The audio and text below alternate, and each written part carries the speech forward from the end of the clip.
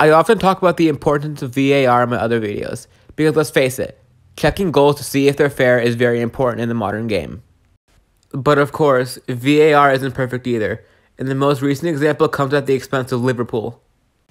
In stoppage time at the first half, Roberto Firmino scored a goal from this position. Liverpool were 0 1 down, and they needed a goal to come back in the game as they were fighting for a top 4 spot.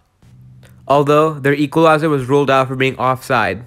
But as we can see from this picture, only his hand is offside, and that too probably just a couple fingertips. And last time I checked, you can't really score a goal with your hand in football. We have VAR nowadays to make sure that the game is played in a fair manner.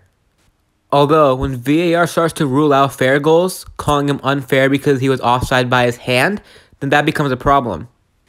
Teams are fighting to win trophies, qualify for the Champions League, or even stay in the league. And if they can't count on VAR to make fair and right decisions for them, then the game's going to remain broken. VAR states that only if there has been a clear and obvious error on the field by the referee, only then the goal can be overturned. Someone being offside by their fingertips isn't a clear and obvious error. It needs serious looking into because it was brought into the game to make it more fair. However, decisions like these make it more unfair.